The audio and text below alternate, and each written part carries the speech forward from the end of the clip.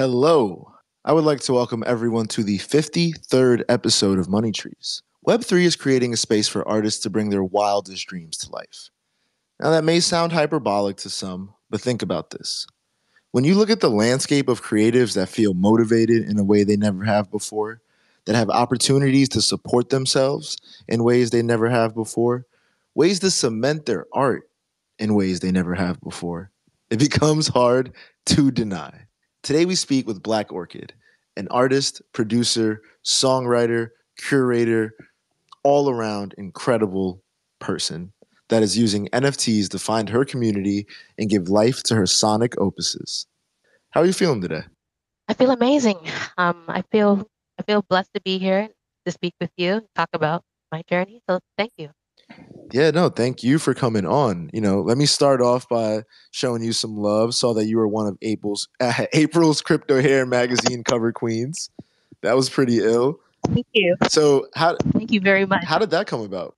Um, I saw the previous cover and I was like fangirling because I used to be a fan of, you know, hair magazines growing up. And I, I said, Yeah, Charm, I, I want to be on your cover one day, you know, Zara Charm. So um yeah, she she reached out to me and she's like, Yeah, what about next month? And I said, Yeah. So and that's how it came about really. And it's just been an honor really to be on a cover like that. It's just a, a dream come true for me, you know. Yeah, no, I saw it. The the other uh, the other. I don't know why my teeth are killing me today. Excuse me. The other cover queens all looked amazing. You know, it's ill because to me, when I got to prepare for our episode, there was so much that I became aware of that you were involved in, and it really just got me thinking. Like, how did you get started in Web three?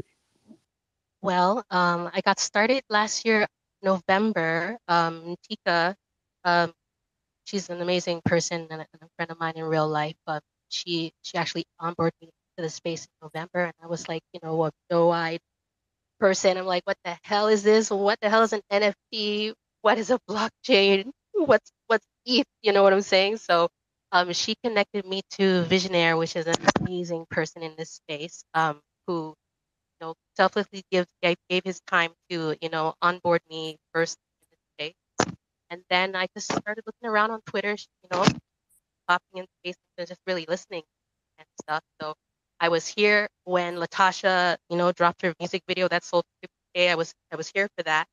Um, I I was here for a lot of things. I was here for Tika's Genesis. Um, back it, it just it, it's weird because this shit seems like it's so long ago, but it's not. It's like only been like five six months or six. Oh my god, it's crazy.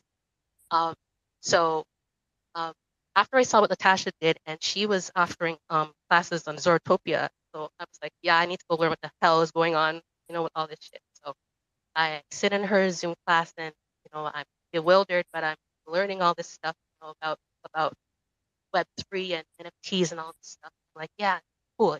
So uh, the new year comes around, January rolls around, and um, um, I hear that that Tika wants to collab with, with Alex Kingdom. So, yeah, we're gonna collab. Can you send me some some beats? So I send her a couple beats, and um, the one that she chose is like, oh my gosh, like we need to. I'm gonna write. I'm gonna send it to Alan. We're gonna write it. So uh, it wasn't even maybe a day or two. Uh, she came back with a with a rough draft of the record. I'm like, oh my gosh, guys killed this beat. Okay, crazy. They went off and finished it, mixed and mastered it, boom, bam. They, you know, got the artwork together, and the following week they they put it up for auction, you know, on catalog. It's my first my first placement in the space. You know what I'm saying? And it's not really kidding me that you know this is my very first placement uh, in this space as a producer. Um, so, um, yeah, the the NFT drops on catalog, a bidding war occurs, um, and like the you know sorry the the the, the record was placed I think at three ETH uh, reserve that was met, and then maybe a couple of days later, a bidding war occurred and it sold for 4.4 ETH. So I was I was mind blown at this point, and I was shocked, you know, because um, I never seen that kind of um, success with my music free, you know. So um, it was a shock. You know? To have that kind of success on entering space like that. Um, then you know, everybody's doing amazing projects. I was here when when when Ellen dropped Dubai Way. I was here, you know, when when Black Dave was just starting out and he was trying to get people to buy his NFTs and what he's doing now. It's so fucking incredible. And um, then I was like, oh, uh, I want to, you know, start putting out my own stuff. Uh, but I was really short up to go about doing. it. I stopped because I feel like.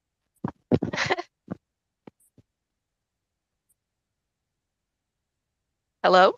Hey, yeah. So I didn't. I, I, couldn't tell. I'm getting. I might be getting rugged. I gotta check on the other account because um, I was hearing like every other word, and so I got the gist of it.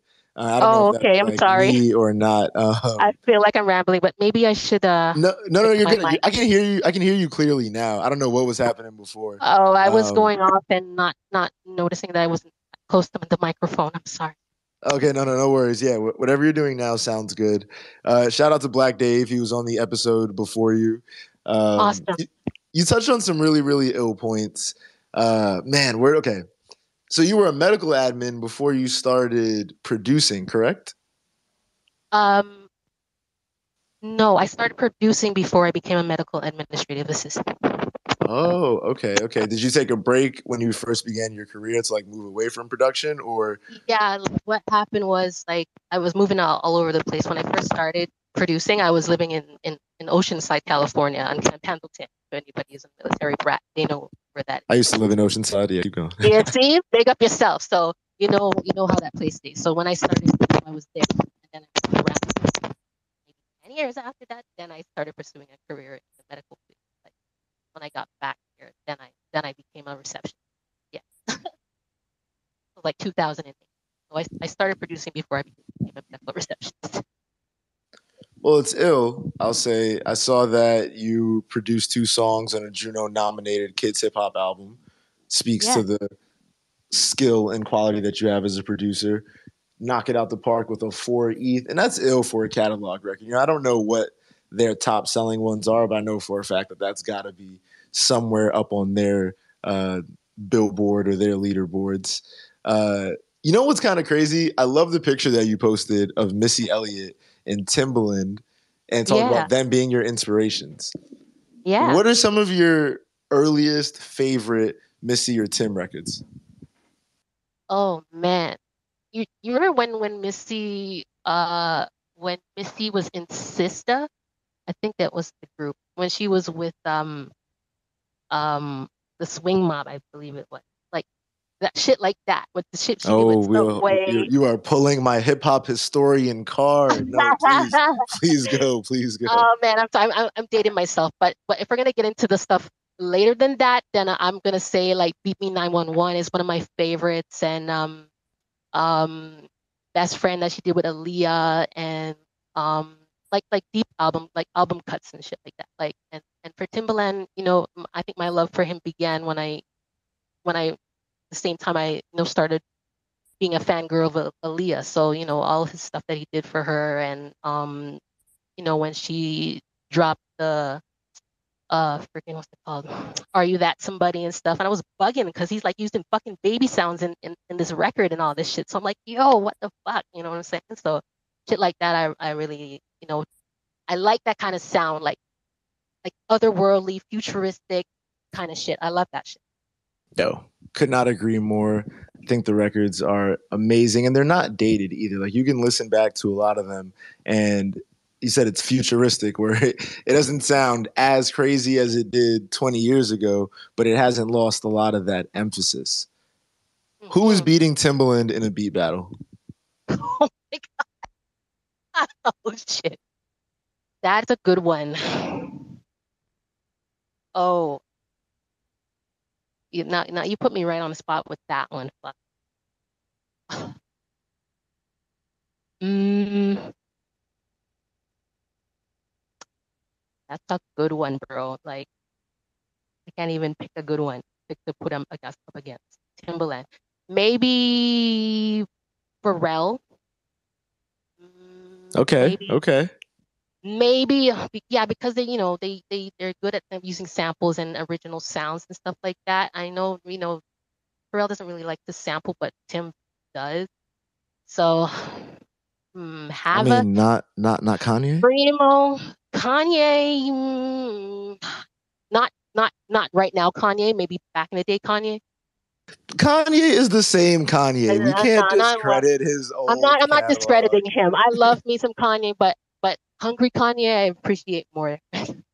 No, no, I get that. I get that. I, I'm, I, I mean Kanye just as a whole, where it's like you look at their best Kanye's a bodies of work. Because because Tim Tim has some new joints too that are crazy. It's not only his classics. Yeah. I've heard. I've heard them, and he's he's become like he's he's like evolved his sound, which is which is cool, you know. Yeah, I, I appreciate. I asked you that just because I appreciate the the care you have for for production, and you are also the curator for a very very ill page. Can you tell the world about that page? Yeah, um, that's a dope sample is a page um I actually started back um three years ago um at the suggestion of a friend of mine. Um, you know, because I was just posting like little videos of songs and then, you know, the actual video of the song of where it came from. And she's like, you know, you should make an Instagram page. So uh, I did that, and then um, I started like editing. I started researching. Um, I was using most from you know um, WhoSampled to to if I didn't know what the sample was, then I would go and WhoSampled, and then started making all these videos um, on my phone um, and posting them on Instagram, and you know people started liking them, and then you know three years later, seven and a half thousand people on on the page, and um, I do everything. I, I, I make the videos, um, I run the social media accounts, I make the graphics, um, I do everything. So I just recently moved it over to Twitter, you know, back in February and trying to, you know, engage the audience here more.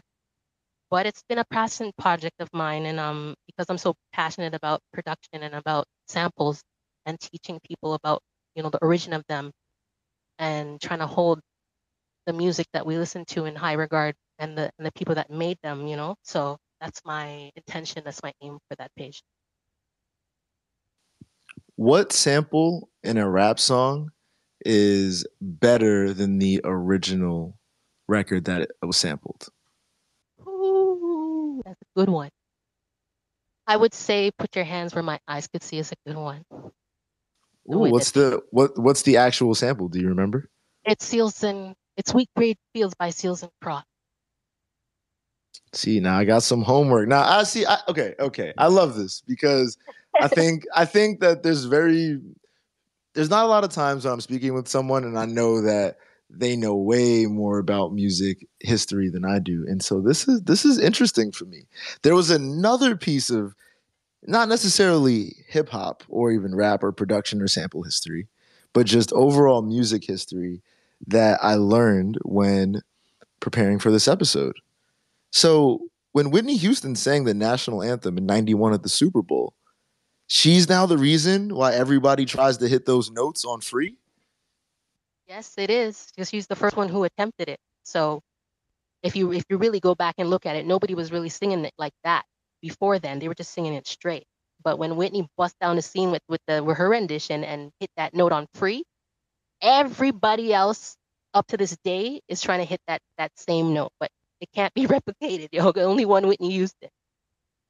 Yo, I saw the original and it just it felt like everything's been watered down since then. It hurt. Yeah. It kind of ruined it for me. It's like it's tough. So as a producer, how easy is it and this this is let me explain this correctly like how easy is it for you to listen to music like can you turn off the producer side of your brain or are you constantly listening for all the layers and the drum patterns and paying attention to the keys Um, when I'm just vibing out, yeah, producer ears. Um, like I, I, usually turn off my producer ears when I'm listening to like dance hall or, or reggae music. I just want to wind up myself. Um, I don't really like getting technical with stuff unless you know I'm listening to something that somebody sent me or somebody's like, oh, you know, hear this new record, and I might like, you know, analyze it or whatever. But yeah, I can turn off my producer ears and vibe out. Yeah.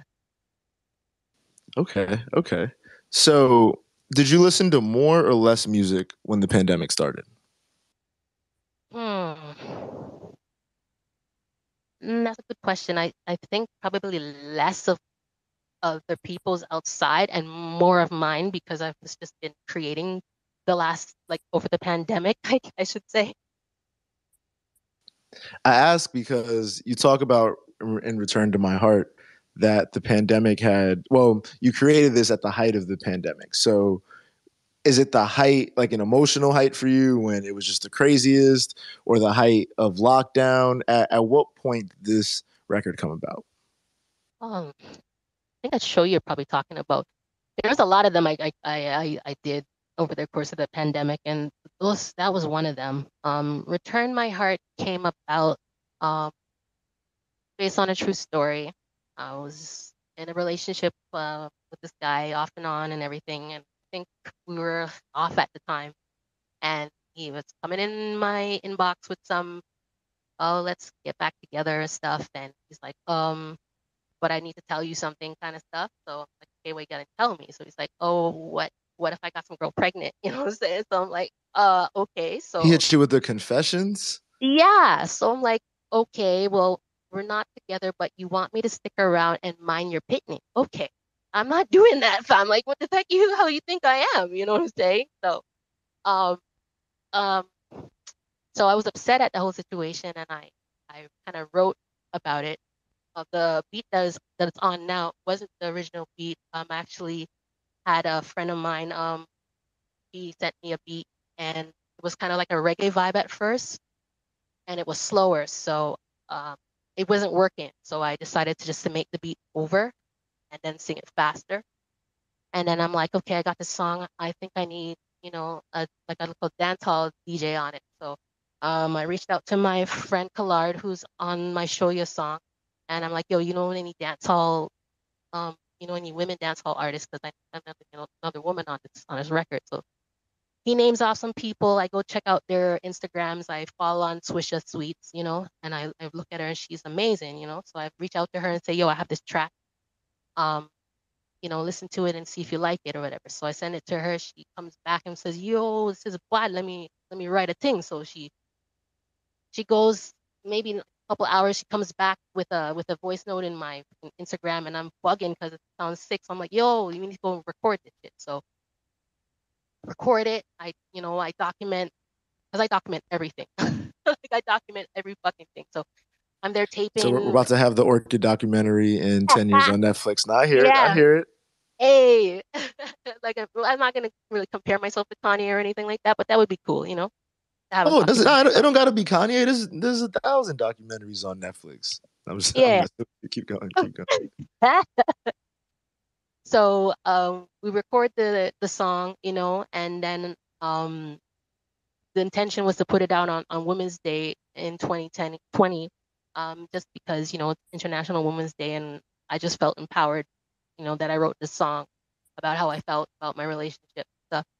We put it out, um, and it's and it was it's just amazing, you know what I'm saying? So I, I it was that whole thing. It felt like I don't know therapy to me getting that record out. Yeah. Yeah, the record was a vibe. I think to me, like reading that and trying to think about the kind of headspace you were when you created that record, the pandemic's been such a roller coaster, I'm sure for everyone, but I can only speak from my experience. And I know that those creative bursts ebbed and flowed more than ever with the course of lockdown, where it's like weeks of constantly looking out of your window, barely going outside, and then there were moments because I was actually doing a little bit of traveling where I would be in different pockets of the world. And at times it wouldn't feel like there was a pandemic at all. And other times it would feel like the plague was outside. And so seeing how artists dealt with that and seeing the art that came out of that time to me is always, always going to be like a, the dopest peek behind the curtains because it's like a shared high key traumatic experience that everyone uh, went through, uh, you know, or is still going through. What made you choose Mint Songs?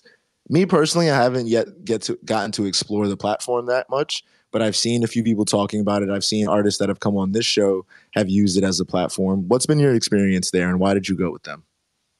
Uh, before I, I about that, I do want to talk about your point about the pandemic and you know, us being on lockdown, while that was happening, I was actually working. I was an essential worker. I was still working as a an ultrasound receptionist at that point. So I was kind of doing my music and trying to be an essential worker. So that was pretty traumatic.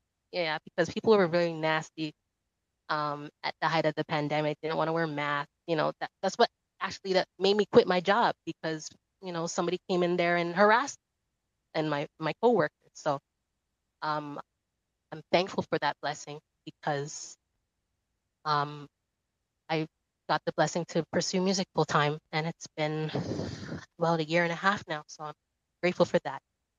Mint song. Wow, wait, sorry. Just the I, maybe I shouldn't have jumped over the pandemic piece so quickly. That was in that was in Canada where that happened. What what city? Yeah, yeah. I was in. I was um yeah. I was in, living in Canada when that happened. Yeah. So I know in the states, right? People kind of know the regions that believe in masks and don't believe in masks. Where you've got Florida versus New York and regardless of where you fall on it, it's just a very, very stark difference, especially when the pandemic numbers were surging. So in Canada, is it that stark of differences city to city, or is there more kind of uh, an amalgamation no. of some places are mass, some well, places aren't? Well, I live in a province called Ontario, right? So they they had a province-wide mask mandate um, up until well, I think they just renewed it, but up until a month ago. So you had to wear a mask. It didn't matter where you were uh, indoor. You could w- take it off outside, but yeah, you, you had to wear one. Um, I'm not sure if it was a national mandate at, at some point. I think there there was, but they didn't play when it came to the mask shit up here for sure. Yeah, Canada's definitely still not playing because even with the sports teams, I know New York just lifted it so their players could play but there's a lot of baseball players that when they go to the Canadian, um, I think it's the Blue Jays, that they can't travel because of uh, the vaccine mandate. Yeah, it's they, they have us um, locked here still a little bit. It's uh, they're just kind of easing things, and I mean people are still you know doing their thing. They're they're they're traveling and stuff. Um, and yeah, it's I I haven't had a chance to travel. yet. I haven't had a chance to travel in like four years. I, I was living in the states uh, for a little bit in 2018 in, in North Carolina, um, but then I came back up here and you know, had to start my life over. But another story. Uh, but okay, yeah, we don't have to spend too much time on that. But the fact that we were both in Oceanside, I also lived That's in North pretty Carolina. cool. When did you when when did you live in Oceanside? So I was in Oceanside for a fall in 2012. Uh, left high school, moved out to Cali, lived in Oceanside, was a beach bum for three months. That is a story for another day. Wow. But- yeah, you were there way after me. Like I left there in 2006 to go to Okinawa. okay, and I was in San Diego for a month, like San Diego proper, then went out to Oceanside. But I digress. Where were you at in North Carolina? Uh, Hope Mills, I believe the place is called. It's like close to Fayetteville. Yeah. Okay, okay, we're now I was in Charlotte. Well, this is going to be a, a, a, rougher transition than intended, but Mint Songs. what made you want to do Mint um, Songs NFTs? Mint Songs. I'm trying to remember how I, I I think I was you know I was intrigued by how you know supportive they were of their of their artists and and you know the ease of the the platform you know, and um, it just seemed it seemed like you know easy to to navigate. So I think that's why I ended up like choosing it. So yeah, that was really it. And then and then I just the the team there has been amazing actually. You know, Nick and and White and all everybody there. So I'm sorry. Um, they've been amazing. So I, I you know I, I like I like it there at Mint Song to me, and this isn't meant to be a Zora shill, but a lot of people do Zoratopia with Latasha, but I've noticed it's not really gained much attention from the actual music NFT and like the, from that from this space as a whole. And I guess because it's not you know a music specific platform could be a problem there. But anyway, market research, I suppose. Not that I'm there. I'm continually digressing. there's another really really ill point the fact that you are bringing your son's art into web3 i find that there's going to be a ton of kids the way they took over tiktok that once the blockchain becomes a little more teenage and preteen friendly as far as you know dealing with hardware wallets and all of that jazz we're going to see kids start to go crazy in here there's already a couple of kids that have made careers in the first two years of being in the nft space what are you yeah. most excited about the blockchain that makes you want to make or bring your children's art and work into the space um, you're talking about kids making an impact. Uh, I'm not sure if you heard of, of William Luffy. Uh, that kid, he's 11 years old, and and you know he runs um dogs and leash and stuff. So, and he he was in a space and he told people he learned to code at seven years old, and that shit blew my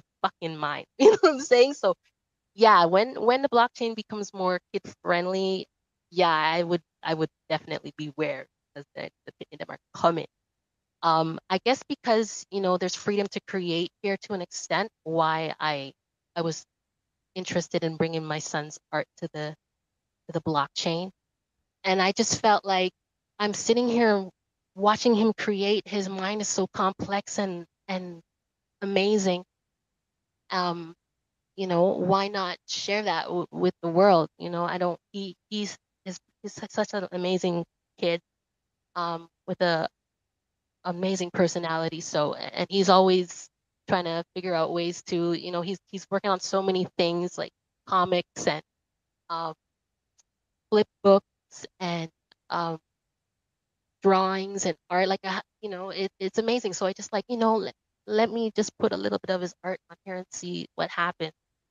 Um, I hate shilling uh, and stuff, but um, I just I love that kid so much, and I just wanted to share his talent with with the world is the only reason why I wanted to bring it here, you know? Oh, that that is not shilling whatsoever. I think that oh man, okay, okay. I don't we've been in the group chat and you said shilling and there's a name that rhymes with shill that has not yet responded to coming onto the show. okay, anyway, that's not shilling shout out to your son. the, the art was dope, and it to me it was refreshing. I feel like there's a lot of there's a lot of reasons why people promote their NFTs in the space, and not all of it is true to the form or true to their art form or true even to their art or themselves and they're doing it for a bunch of other reasons we don't have to mention the person whose name rhymes with a shill but web3 influencers is there a difference between an influencer and a curator? Uh, I'm still trying to come to terms with all these fucking terms. You know what I'm saying? What the fuck is a it? what the fuck is an influencer? You know what I'm saying? I'm old, yo. I'm in a no no no no influencer. um, but yeah, I think some a curator is a, a true curator is somebody who cares about art and and you know wants to have it all in one place and you know say, hey, people, look at this great art you should look at. Uh, influencers, you know, I, I guess they're only, only about numbers and likes and stuff and you know shit like that from what I can understand, and I think that's the difference. I agree. I definitely think there's a difference between curation and you're right. Like, what the fuck? Like, who even? I guarantee an influencer is the person that coined the term influencer, where it was right. like, yo, like I'm moving markets with my vlogs. And I can't front. It's because it's, it's one of those things that like you love to hate, but then you do look at the numbers and you're like, okay, by definition, technically, you're not that wrong in what you're saying. But I think it's also like a scale. At what point are you a professional versus a hobbyist, where there's a lot of people that don't actually have any influence that call themselves influencers. Right. I digress. We don't need to touch on that any more than we already have. Um, do you remember the moment that NFTs clicked and the example that kind of got you over the hump? Because you talked about getting some exposure, having some people in your circle talk about it, and seeing what they were doing. Boom, having the class with uh, Zoratopia. But is there like a pinpoint moment that you know it was like, oh, okay, I get it? I think what happened with selection and sound was the moment it clicked for me. I'm like, whoa, what the fuck? You know what I'm saying? Like when they hit everybody with that splits and that whole mixed thing, the wheels got turning in my head about what the fuck I can do in this space and the ideas I have uh, to bring to in that regard. So yeah, that's when it clicked for me. Oh, I was on mute. Uh, so I think that that's dope. I've, I've talked about this. So I was actually on the um, the NFT now uh, space when they announced that. Shout out to Joe and the team. I think what Selection has done for the internet culture, you know, over the last decade has been insane. So it'll be interesting to see how they make this transition to Web three. When I think about one of my favorite things that I loved about the blockchain, and the reason I asked this is just thinking about kids and their art where I don't really know where any of my early art is. There's one painting I have that's on all my Zoom meetings, and it's a finger painting I did when I was four years old. And there's pictures of it, but if that canvas got destroyed, it would be the loss of that art. And when you think about today's day and age, like my sister uses an iPad for damn near every piece of art that she creates. And so she's constantly drawing digital art. And I think that the Ethereum blockchain will be around longer than most platforms will, where it's a lot more agnostic. It doesn't have singular founders. And, you know, Instagram could go down or could be bought out, and Meta decides they want to shuttle the whole thing, and all of your pictures could potentially be lost. Very unlikely, but it's very interesting thinking about kids getting to have their art live under their own brand, under their own umbrella from their first creations. And so, yeah, that was one of the things when I started thinking about blockchain, not necessarily with kids, but just art and the perceived permanence of what this could be.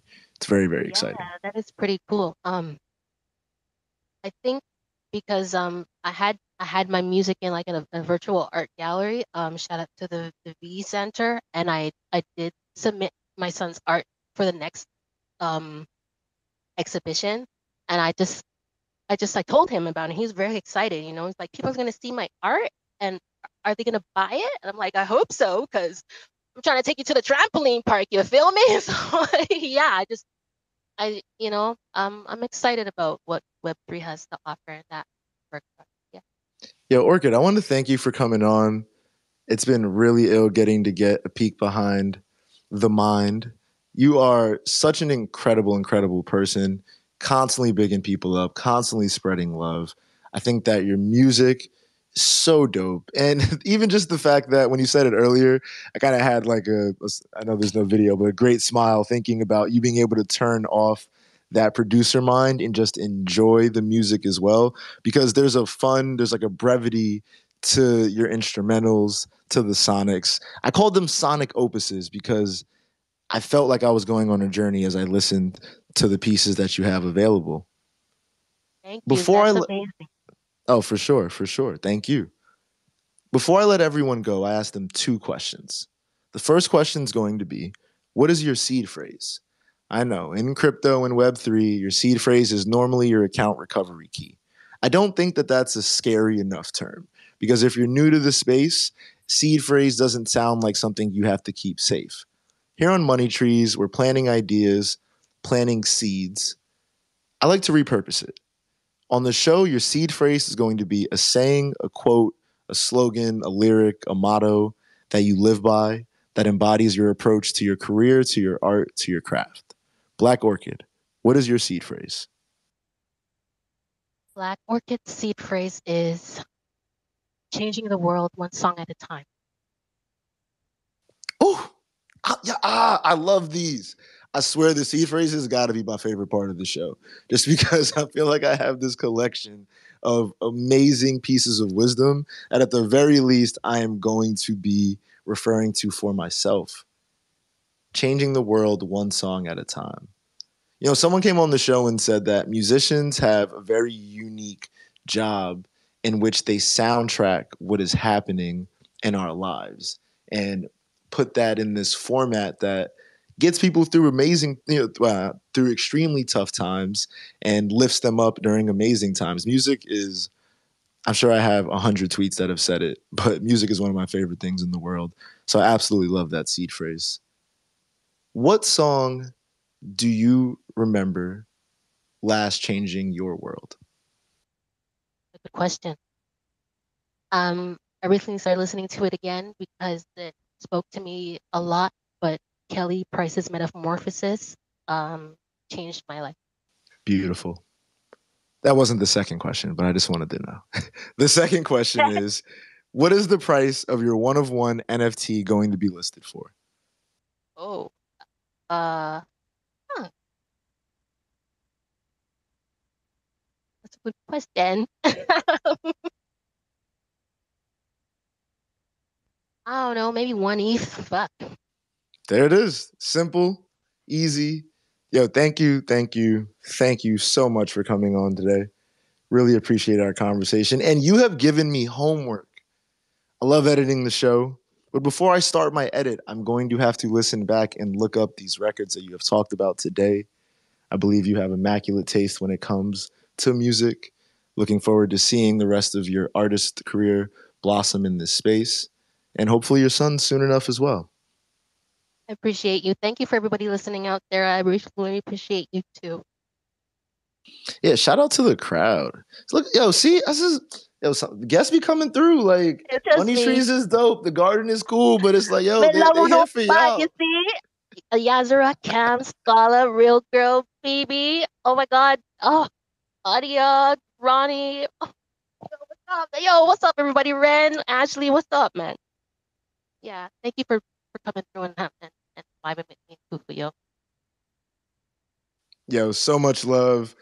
I will. This episode will be up later today for anybody who wasn't in the crowd. I hope you enjoy the rest of your week. And yeah, I'll be looking forward to see what else you put out in this space. Yeah, man. Peace, peace, peace.